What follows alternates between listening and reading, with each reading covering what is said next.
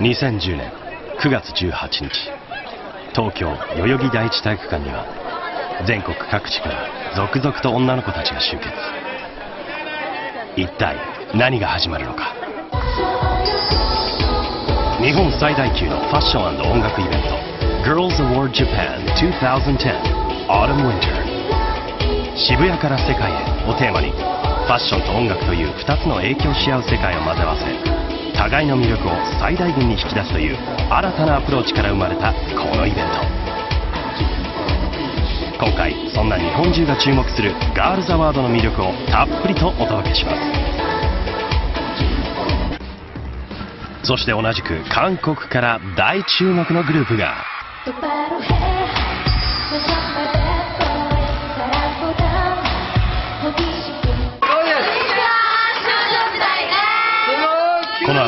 アジアナンバーワンガールズグループ登場少女時代の皆さんにお越しいただきましたイエーイすごいですす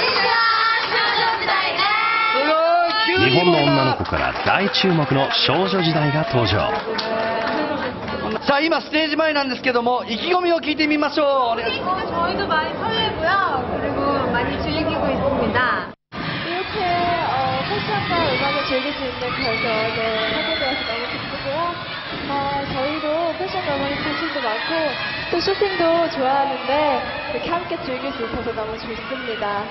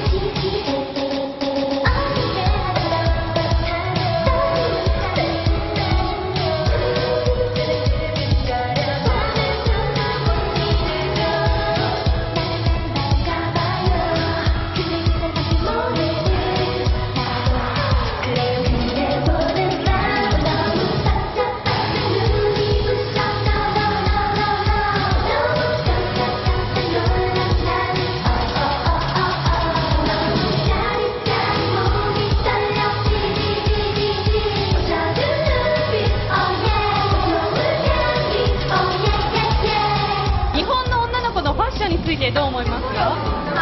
いい。かわい,い。君たちぴったりな言葉を言っていただいたありがとう。ございますラブリアかわいいっていうのはみんなのことです。かわいい。